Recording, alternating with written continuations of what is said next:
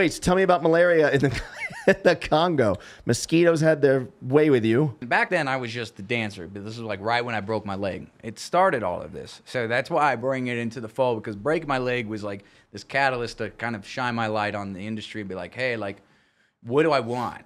Because I couldn't dance anymore. One of the first guys that I couch surfed was this dude. And this dude uh, was riding through Vegas and he was like, I'm going to ride all the way to Patagonia on a bike. I'm like, now that's something. Six years later, out of the blue, calls me wasted in Congo and he goes, Yeah, you want to come ride bikes? That was uh, Congo. And that's literally a couple days later, I flew back and I started contracting uh, malaria on And the way back. How long does it take to get rid of malaria?